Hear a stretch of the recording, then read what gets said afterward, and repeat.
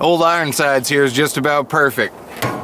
Only thing it didn't have was a rope tow, and JQ loves tubing. Don't worry, I figured it out.